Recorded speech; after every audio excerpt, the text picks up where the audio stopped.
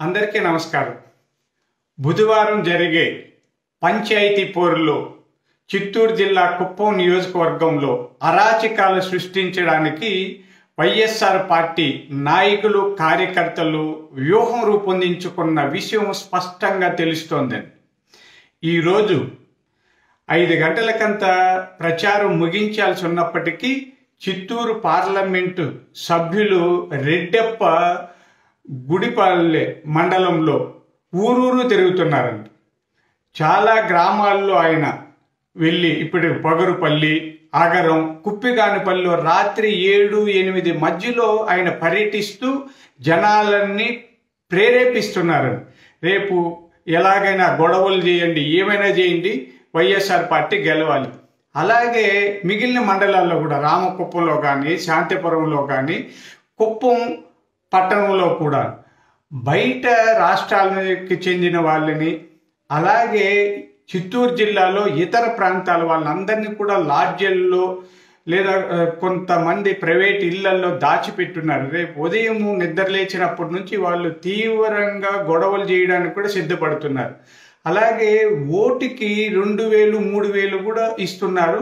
పక్కనే బార్డర్లో ఉన్న కర్ణాటక నుంచి మద్యాన్ని తీసుకొచ్చి ఏర్లై పారిస్తున్నారండి.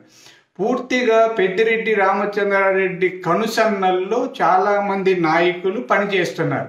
సాక్షాత్తు లోకసభ సభ్యులు రెడ్డప్ప ఈ దీనికంతా నాయకత్వం వహిస్తున్నాడంటే ఎంత తీవ్రంగా ఆలో చేస్తున్నారో చూడండి.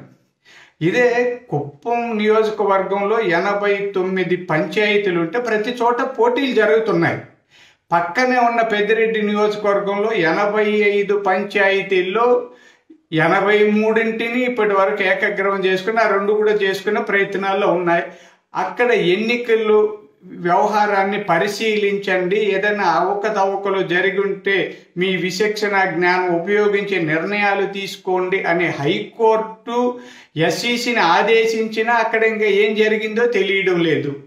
అంటే పక్కనున్న నియోజకవర్గంలో అన్ని ఏకగ్రీవాలయ్యి ఈ పక్కనున్న నియోజకవర్గంలో ఎనభై తొమ్మిది పోటీలు జరిగాయి అంటే అర్థం చేసుకోండి. అధికార దుర్వినియోగం ఎలా జరుగుతుందో. ఇప్పటికీ అక్కడున్న అన్ని పోలీస్ స్టేషన్లో పోలీస్ అధికారుల్ని ఎస్ఐలు సిఐలు కానిస్టేబుల్ని అలాగే రిటర్నింగ్ ఆఫీసర్లు అందరినీ కూడా ప్రలోభపరిచి భయపెట్టి లొంగ తీసుకున్నారండి. ఏది ఏమైనా కుప్పం నియోజకవర్గాల్లో మొత్తం పంచాయతీల్లో మెజారిటీ సీట్లు సాధించాలన్న సంకల్పంతో వాళ్ళు పనిచేస్తున్నారు. దానికి కారణం అందరికీ తెలుసు.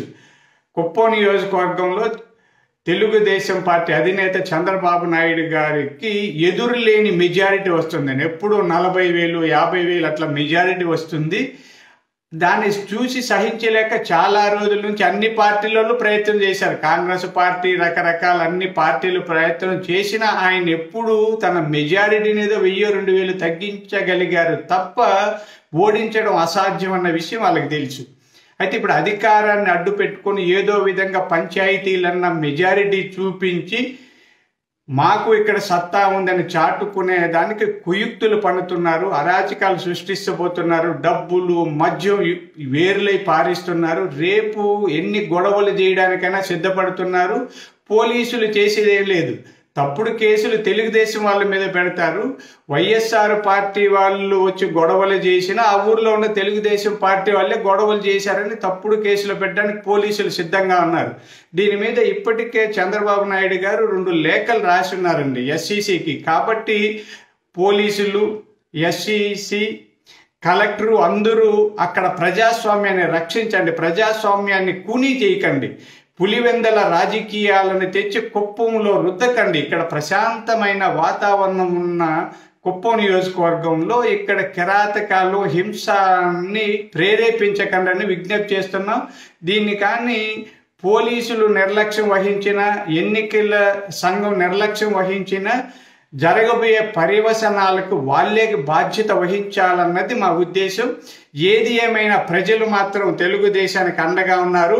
మెజారిటీ స్థానాల్లో తెలుగుదేశం గెలుస్తారన్న విశ్వాసం మాకుంది. వీళ్ళు ఎన్ని లక్షల్లో ఖర్చు పెట్టినా వేలకు వేలు డబ్బులు ఇచ్చినా మందు పోసినా ఎన్ని మాయలు చేసినా ప్రజలు చంద్రబాబు నాయుడు గారి వెంట ఉంటారు. తెలుగుదేశం బలపరిచే అభ్యర్థులే ఎక్కువ స్థానాల్లో గెలుస్తారనేది మా నమ్మకం. అయినా ప్రజాస్వామ్యాన్ని రక్షించాల్సిన బాధ్యతను ఎన్నికల సంఘం స్వీకరించాలని డిమాండ్ చేస్తున్నాం.